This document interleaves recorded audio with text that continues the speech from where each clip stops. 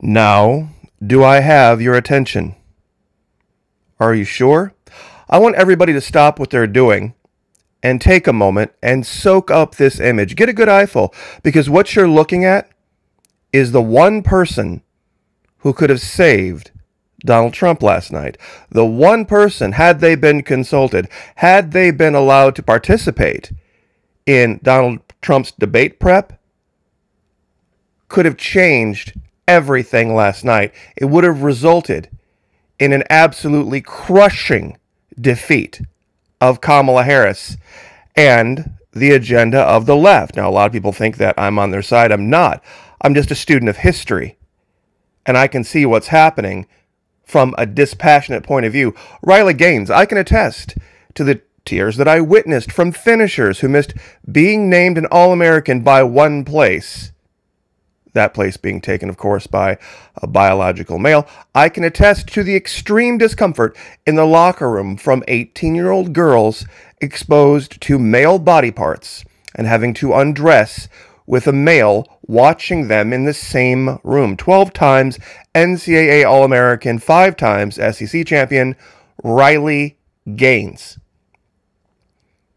Had Donald Trump not been such a self aggrandizing narcissist, he would have thought, hmm, what topic could I bring up that the women in America would really pay attention to that would end Kamala Harris's chance at winning any office in the future, much less that of the presidency? If there were any topic that could have been brought up that was completely ignored, and believe me, Donald Trump had plenty of chances to bring up things. He brought up the issue in Springfield, Ohio, with apparently their pets disappearing for some reason. And he brought up all sorts of old nonsense and his legal problems over and over and over again and all this stuff. But he could have brought that up. He could have brought that. He haven't had the final statement.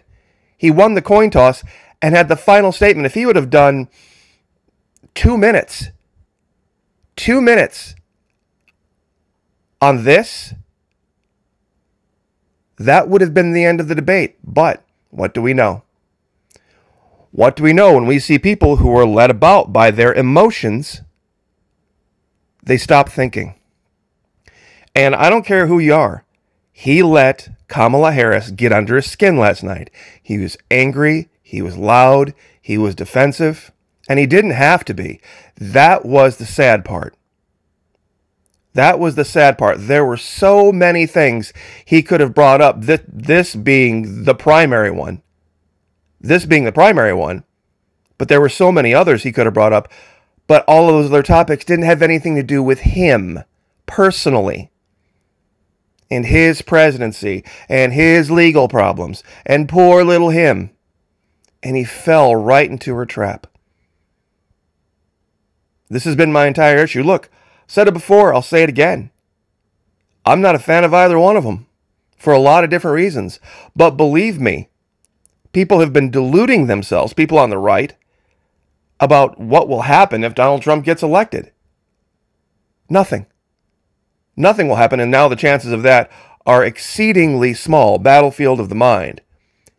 Now, if you'd like to get read in on Battlefield of the Mind topics, how to see through all of the nonsense that the media puts out. Show me how many people are talking about this today. Seriously. I want you to go show me how many people are saying, you know what? If Donald Trump had brought up what Riley Gaines said and the whole issue with the trans nonsense and the Bud Light stuff and all that stuff, he would have done far better. He could have put her on the defensive. But did he? No. Of course he didn't. But Florida Maquis, real quick, if you'd like to join us, Florida Maquis Patreon channel, one US dollar. That's it. One US dollar per month, even less if you sign up for an entire year, fully refundable. First 90 days, no questions asked. I know what you're going to say. But Florida Maquis, Florida Maquis, it wasn't fair. It was three against one. It was three against one, and the moderators were unfair, and they did. Florida Maquis, wait, wait, what, what, what? It was unfair? I mean, like, guns and rifles versus bows and arrows? was unfair? Now, wait a minute, Maquis. That's an entirely different. How is it entirely different? How many times have you heard people on the right say, We're at war, we're at war, we're at war, we're at war with the left, we're at war with the Marxists? Okay. All's fair in love and war. All's fair in love and war. Was it fair of the people who were driving the Native Americans into the sea and exterminating them and committing the greatest genocide the planet has ever seen? Was it fair for them to use Winchester repeaters against bows and arrows? Was that fair? Was it fair for people who had lived on the land for, oh, I don't know how many centuries, perhaps millennia, to then all of a sudden be forced to just walk away because of unfair weaponry? We still have signs up commemorating the genocide in America. That's right, and that's what it was. By the clinical, factual definition of genocide, what we did to settle this country was genocide. And then we have the audacity to call the descendants of those people trying to live on a certain part of it across some line on some map, call them illegal. It's hilarious. But what does the Bible say about he that leadeth into captivity? What does the Bible say about he that leadeth into captivity? Or, or more importantly, what does the Bible say about he that exalteth himself? And don't sit there and tell me that Donald Trump is not the master of self exaltation. Literally everything he's ever tried has had to have his name on it. No matter how many failed attempts at business, no matter how many um, lawsuits, it was always his name and then whatever it was. So let's just be real. How many of you are ready to go back to where we were before the Trump delusion? How many of you are ready to go back to where we were before the Trump delusion, where everybody understood that Washington, D.C. was the enemy, that billionaires and the, I guess, what do you call them? I guess you could call them the Illuminati, the, the enlightened, the uber wealthy, the billionaires of the world, that they were not our friends no matter what they said. You see, sometimes first impressions can be deceiving. A lot of people look at this image and they're like, wow, that is a really cool image. Man, I couldn't, oh, that would be great. If we could find some like minded folks and find a deep forest like this with all this running water and somehow make some some shelters and then just let the, the forest grow over them and man that would be so great this would be an awful place to live. This would be an awful place to live. Anybody who's ever served in the jungle would know why this would be an awful place to live. Because on the hot days, it would be unbearably humid. On the cold days, it would be unbearably damp and dank. You would have a continual fight with bugs and with mold. Everything would be slippery all the time. Imagine walking down this little step down here you'd fall and break your neck every other time.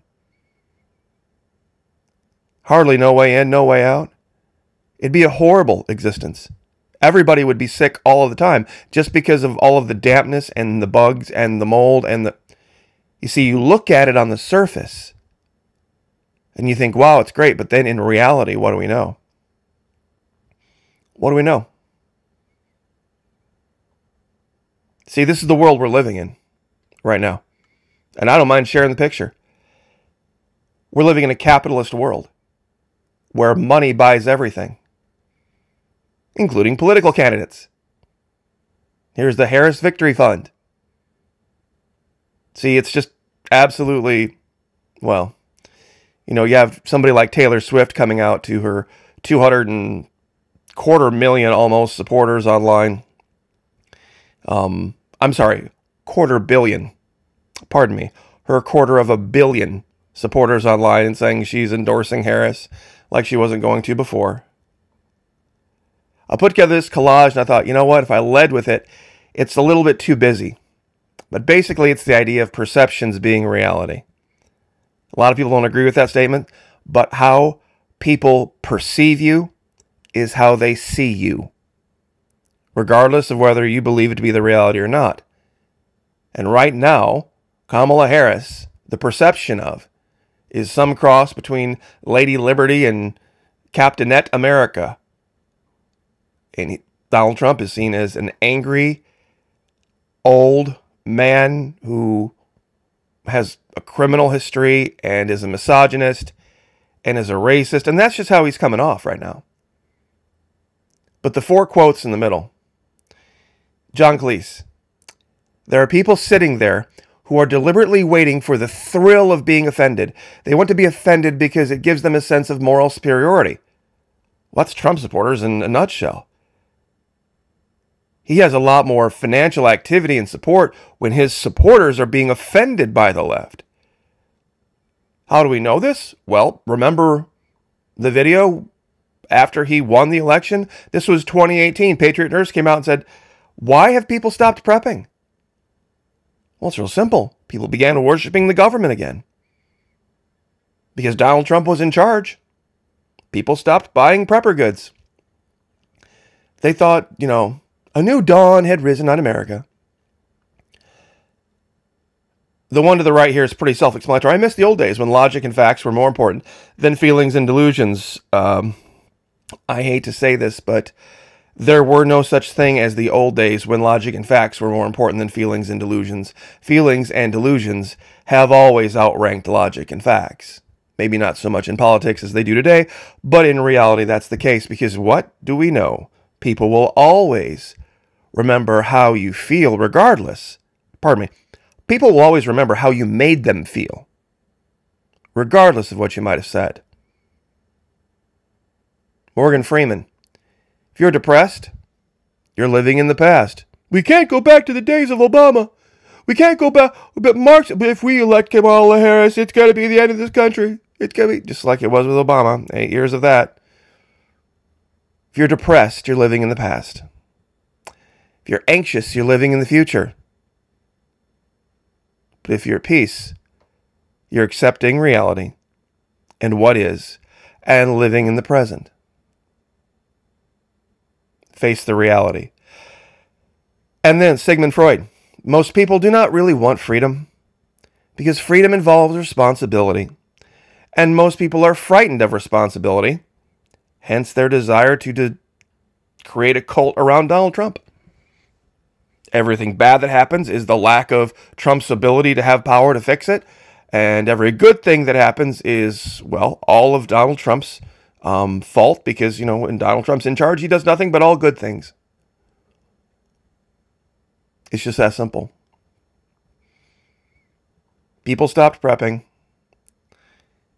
Lisa Haven, Justice Knight, they had to read the writing on the wall about what was going on with censorship, and they had to, I'm sorry, capitalism confirmed. They had to go to different techniques. And there's a really great video out there um, it's from, and it's a short, it's YouTube short, um, at T E E underscore T O W, all small, T Tito, Tito. It's a scene from a movie. I can't show any of it because, of course, of the copyright. Um, but it's about a guy from the railroad trying to offer money to a Native American, and the Native American saying, "Look, I'd rather have my land than your money." And he's trying to convince him, you know, why, you know, the U.S. government can't be dealt with. We're going to take it one way or the other. So that's still where we're at. So once again, I'll reiterate. Of course, because she's a Floridian, nobody listened.